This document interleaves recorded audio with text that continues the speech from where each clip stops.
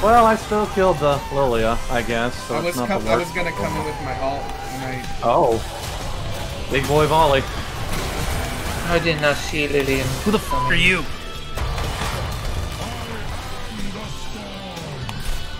Careful, don't worry.